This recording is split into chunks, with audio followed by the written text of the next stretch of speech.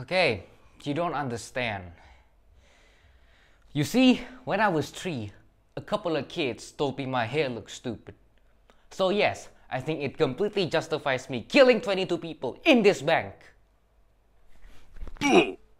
23.